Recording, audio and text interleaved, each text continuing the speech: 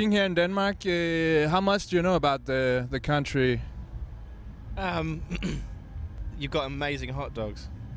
I've already had two, and I'm going to try and find a third. Hot dog. Uh, Oblivion.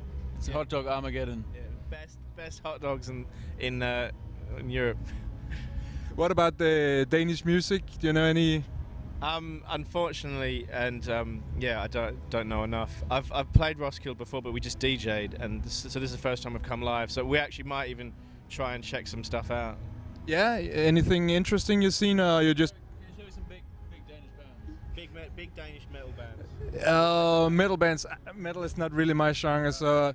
But uh, do you know Trentemøller, for instance? Uh, yeah, yeah, yeah.